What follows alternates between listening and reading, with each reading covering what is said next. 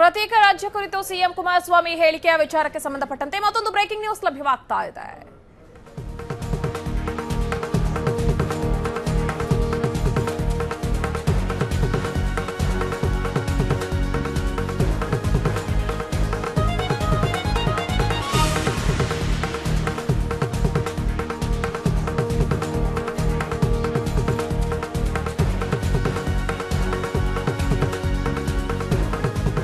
S, ಪ್ರತ್ಯೇಕ ರಾಜ್ಯ ಕುರಿತು ಸಿಎಂ ಕುಮಾರಸ್ವಾಮಿ ಈಗಾಗಲೇ ಹೇಳಿಕೆ ನೀಡಿರುವಂತಹ ವಿಚಾರಕ್ಕೆ ಸಂಬಂಧಪಟ್ಟಂತೆ ಇದೀಗ ಸಿಎಂ ಅವರ ಹೇಳಿಕೆಯಿಂದ ಕಾಂಗ್ರೆಸ್ಗೆ ಸ್ವಲ್ಪ ಮಟ್ಟಿಗೆ ಹಾನಿಯಾಗಿರೋದಂತೂ ನಿಜ. ಲೋಕಸಭೆ ಚುನಾವಣೆಗೆ ಇನ್ನೂ ಒಂದು ವರ್ಷ ಸಮಯವಿದೆ. ಅಷ್ಟರಲ್ಲಿ ಈ ಹಾನಿ ಸರಿಪಡಿಸೋದಕ್ಕೆ ಪರ್ಯಾಯ ಕ್ರಮ ಕೈಗೊಳ್ಳಬೇಕು ಅಂತ ಬೆಂಗಳೂರಿನಲ್ಲಿ ಮಾಜಿ ಸಚಿವ ಸತೀಶ್ ಜಾರಕಿಹೊಳಿ ಹೇಳಿಕೆಯನ್ನ ನೀಡಿದ್ದಾರೆ.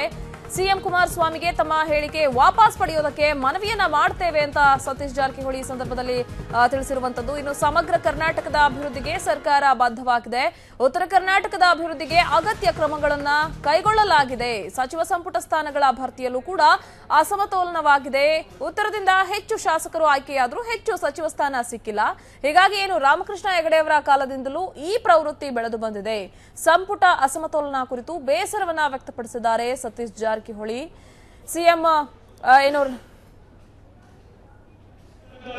ಇಲ್ಲ ನಾವು ಈಗಾಗಲೇ ಸ್ಪಷ್ಟಪಡಿಸಿದ್ದೀವಿ ಭಾಗ ಮಾಡಲಿಕ್ಕೆ ನಮ್ದು ಸಹಮತ ಇಲ್ಲ. ಆದರೆ ಡೆವಲಪ್ಮೆಂಟ್ ಬಗ್ಗೆ ಹೋರಾಟದಲ್ಲಿ ನಾವು ಕೂಡ ಭಾಗಿಯಾಗ್ತಾ ಅಂತ ಹೇಳಿದ್ದೀವಿ ನಾವು ಕೂಡ ಡೆವಲಪ್ಮೆಂಟದಲ್ಲಿ ಹೋರಾಟದಲ್ಲಿ ನಾವು ಕೂಡ ಇಲ್ಲದಿಲ್ಲ, ಆಗಿದೆ. ಎಲ್ಲ ಸರ್ಕಾರದಲ್ಲಿ ಆಗಿದೆ. ಆದರೆ ಇನ್ನೂ ಅವ್ರಿಗೆ ಹೆಚ್ಚಿಗೆ ಅದು ನಮ್ಮದು ಕೂಡ ಮೈಸೂರು, ಮಂಗಳೂರು, ಬೆಂಗಳೂರು ಥರ ಆಗ್ಬೇಕಾದವ್ರು ಕಾಣಿಸಿದೆ. ಅದಕ್ಕೆಲ್ಲ ನಾವು ಹೋಗಲ್ಲ. Congress ಮಾಡಿದಾರೋ BJP P J D S ಇಲ್ಲ. ನಮಗೆ ಒಟ್ಟಾರೆಯಾಗಿ ನಮ್ಮ ಉತ್ತರ ಕರ್ನಾಟಕ ಅಭಿವೃದ್ಧಿ ಆಗ್ಬೇಕನ್ನೋದು ಅಷ್ಟೇ ನಮ್ಗೆ ಸಿದ್ದರಾಮಯ್ಯ ಬಜೆಟ್ನಲ್ಲಿ ಸಾಕಷ್ಟು ನಮ್ಗೆ ಅನುದಾನ ಕೊಟ್ಟಿದ್ದಾರೆ.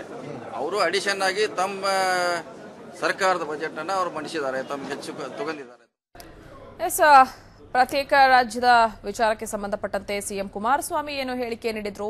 ಈ ಒಂದು ಹೇಳಿಕೆಯಿಂದ ಕಾಂಗ್ರೆಸ್ಗೆ ಸ್ವಲ್ಪ ಮಟ್ಟಿಗೆ ಡ್ಯಾಮೇಜ್ ಆಗಿರುವಂತದ್ದಂತೂ ನಿಜ. ಲೋಕಸಭೆ ಚುನಾವಣೆಗೆ ಇನ್ನೂ ಒಂದು ವರ್ಷ ಕಾಲಾವಕಾಶವಿದೆ. ಅಷ್ಟರಲ್ಲಿ ಈ ಒಂದು ಹಾನಿಯನ್ನ ಸರಿಪಡಿಸೋದಕ್ಕೆ ಪರ್ಯಾಯ ಕ್ರಮವನ್ನ ಕೈಗೊಳ್ಳಬೇಕು ಅಂತ ಬೆಂಗಳೂರಿನಲ್ಲಿ ಮಾಜಿ ಸಚಿವ ಸತೀಶ್ ಜಾರಕಿಹೊಳಿ ಹೇಳಿಕೆಯನ್ನ ಕೊಟ್ಟಿದ್ದಾರೆ. ಇದೇ ವಿಚಾರಕ್ಕೆ ಸಂಬಂಧಪಟ್ಟಂತೆ ಮತ್ತಷ್ಟು ಮಾಹಿತಿಯನ್ನು ನೀಡ್ತಾರೆ ನಮ್ಮ ಪ್ರತಿನಿಧಿ ಮಸೂದ್. ನಮ್ಮ ಜೊತೆ ದೂರವಾಣಿ ಸಂಪರ್ಕದಲ್ಲಿದ್ದಾರೆ. ಎಸ್ ಮಸೂದ್, ಪ್ರತ್ಯೇಕ ರಾಜ್ಯದ ವಿಚಾರ, ಕಾಂಗ್ರೆಸ್ಗೆ ಡ್ಯಾಮೇಜ್ ಆಗಿದೆ ಅಂತ ಸತೀಶ್ ಜಾರಕಿಹೊಳಿ ಹೇಳಿದ್ದಾರೆ. ಮತ್ತೆ ಯಾವ ವಿಚಾರಗಳನ್ನ ಪ್ರಸ್ತಾಪಿಸಿದ್ರು ಸತೀಶ್ ಜಾರಕಿಹೊಳಿ ಮಸೂದ್?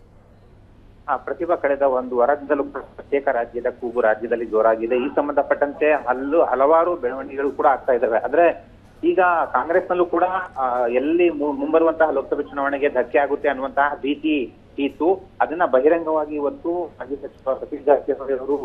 ವಿಧಾನಸೌಧಕ್ಕೆ ಅವರು ಬಂದಿದ್ರು. ಆ ಸಂದರ್ಭದಲ್ಲಿ ಅವರು ಮಾತನಾಡಿದ್ರು.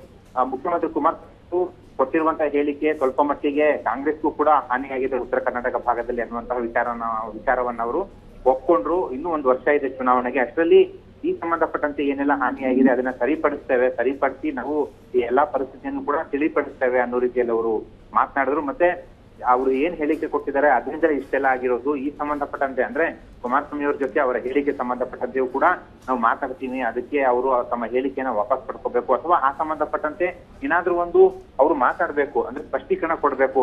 ಆ ಸಂಬಂಧಪಟ್ಟಂತೆ ಅವ್ರ ಜೊತೆ ನಾವು ಮಾತಾಡ್ತೀನಿ ಅನ್ನೋ ವಿಚಾರವನ್ನ ಇವರು ಹೇಳಿದ್ರು. ಒಟ್ಟಾರೆಯಾಗಿ ಈ ವಿಚಾರ ಅಂದ್ರೆ ಕಾಂಗ್ರೆಸ್ನ ಪ್ರತ್ಯೇಕ ರಾಜ್ಯದ ವಿಚಾರ ಕಾಂಗ್ರೆಸ್ಗೂ ಕೂಡ ಪೆಟ್ಟಾಗಿದೆ ಅನ್ನುವಂಥದ್ದನ್ನ ಅವರು ಒಪ್ಕೊಂಡಿದ್ದಾರೆ. ಆದ್ರೆ ಬೇರೆ ಪ್ರಮುಖ ನಾಯಕರು ಸ್ವಲ್ಪ ಮೌನ ಕೂಡ ವಹಿಸಿದ್ದಾರೆ. ಕೆಲವರು ಬಿಜೆಪಿ ವಿರುದ್ಧ ಹರಿಹಾಯಿಸಿದ್ದಾರೆ ಪ್ರತ್ಯೇಕ ರಾಜ್ಯ ಬೇಡ ಅಂತಿದ್ದಾರೆ. ಆದ್ರೆ ಕಾಂಗ್ರೆಸ್ಗೆ ಹಾನಿಯಾಗಿರುವಂತಹ ವಿಚಾರವನ್ನ ಪ್ರಥಮ ಬಾರಿಗೆ ಇವರು ಒಪ್ಕೊಂಡಂತಾಗಿದೆ Pratibha. Okay thank you Masood. ನಿಮ್ಮೆಲ್ಲ ಡೀಟೇಲ್ಸ್ಗಾಗಿ